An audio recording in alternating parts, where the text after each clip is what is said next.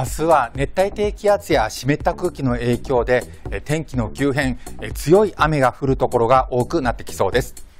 えこちらは、え、明日朝9時の予想天気図になりますが、え南の海上には、え熱帯低気圧が、え予想されています。熱帯低気圧はだんだん勢力そのものは弱まっていく、予想で、台風になる可能性はかなり低いと見ているんですが、湿った空気を大量に持っています。高気圧の縁を通って湿った空気の通り道にも日本列島なっていますので、え明日は晴れていたとしても、天気急変して強い雨が降るところが多くなってきそうです。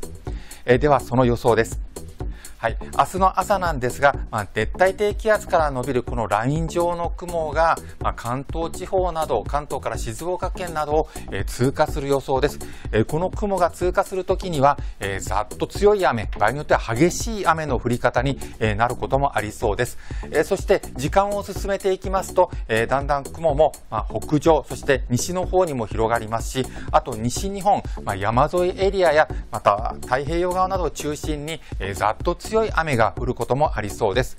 えー、明日は晴れていても天気急変に注意です。では、天気アイコンで確認しましょう。はい。えー、明日、えー、東京曇りアイコンですが、雨が降る時間、えー、場合によったらありそうです。えー、またその他の各地、えー、晴れアイコン、猛暑アイコンもありますね。えー、その中に、えー、小さな雨アイコンも、えー、並んでいます。えー、明日は晴れていたとしても、えー、油断しないようにしてください。えー、急にざっと強い雨、えー、降ることもありそうです。えー、明日は、えー、折りたたみ傘などで、え手放せない一日となりそうです。えー、詳しい予報はウェザーニュースのアプリでもご確認ください。